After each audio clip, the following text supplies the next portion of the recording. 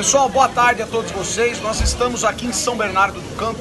Acabamos de participar de um grande evento do nosso próximo presidente da República, Geraldo Alckmin, com a Carla, nossa candidata a deputada estadual.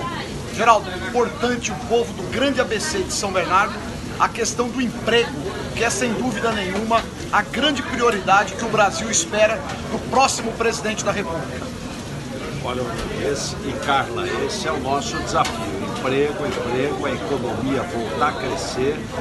Para crescer economia precisa ter investimento. Para ter investimento precisa ter confiança.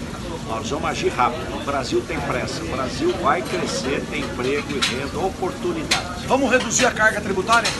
Vamos simplificar cinco impostos num só que é o IVA, e reduzir o imposto chamado corporativo, para atrair mais empresas e as empresas que estão aqui poderem expandir, ter mais investimento.